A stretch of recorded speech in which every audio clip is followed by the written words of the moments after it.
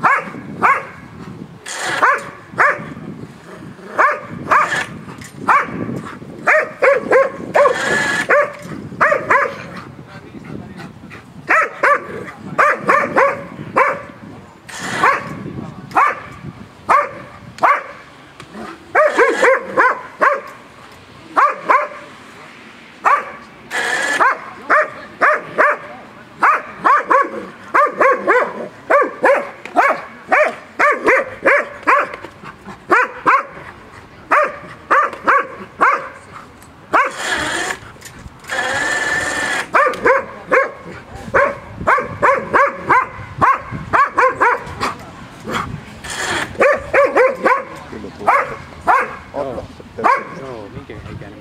Mä oon jo aika.